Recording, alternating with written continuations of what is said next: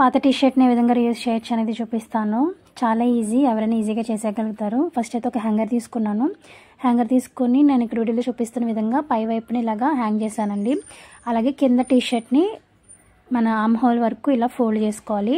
Fold చేసుకున్న తర్వాత ఆ చివర ఈ చివర అండ్ అలాగే మధ్యలో మనకి మధ్యలో నేను ఇక్కడ చేపెట్టాను కదా అక్కడ స్టిచ్ చేసుకుంటే త్రీ పాకెట్స్ అవుతాయండి.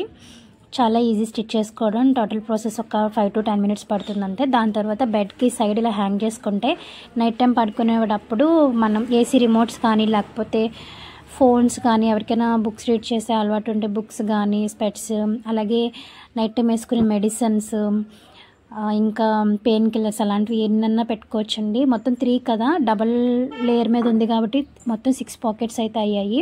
సో ఐ హోప్ మీ అందరికీ వీడియో నచ్చిందని అనుకుంటున్నాను. నచ్చితే కనుక లైక్ చేయడం షేర్ చేయడం మర్చిపోవద్దండి. నేను మళ్ళీ ఒక మంచి వీడియోతో మీ ముందుకు వచ్చేస్తాను. అంతవరకు బాయ్ బాయ్